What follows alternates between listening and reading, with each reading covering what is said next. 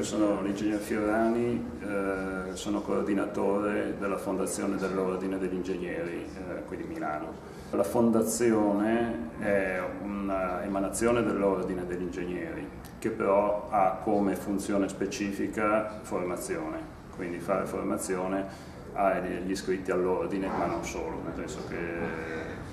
in genere tutti i nostri eventi sono aperti non solo agli iscritti ma anche a chiunque sia interessato a partecipare. In genere la Fondazione organizza due tipi di eventi, diciamo quelli a pagamento, dei corsi che hanno uno scopo specifico di formazione per far crescere le competenze eh, chi partecipa a questo corso e altri più informativi tipo seminari, convegni eccetera. Quindi noi facciamo tutte queste attività. Le facciamo per conto dell'ordine perché l'ordine non può gestire una partita IVA sostanzialmente, cioè non può gestire la parte economica di questo fatto, quindi la fondazione emanazione dell'ordine ha questo compito, una fondazione senza scopi di lucro naturalmente che ha questo obiettivo Scopo. principale. Quindi come tale la fondazione ha bisogno di spazi per fare queste attività.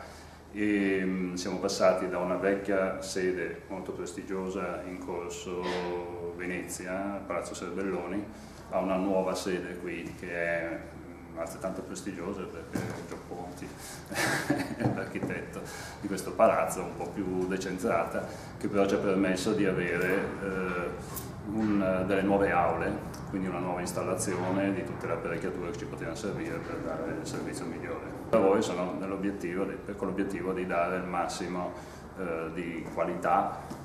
eh, di flessibilità nel, nei vari servizi, quindi un tema che ci, ci interessava molto risolvere qui avendo tre aule e poterle utilizzare sia singolarmente sia unendole magari come se fosse un, non fisicamente ma con, con, dei collegamenti audio-video permettere a più iscritti che dovevano, che dovevano distribuirsi in, in, aule diverse di vedere lo stesso evento, quindi partecipare allo stesso evento, quindi tutte e tre le aule possono essere collegate e seguire lo stesso relatore con le slide, proiezioni, video eccetera, audio ovviamente.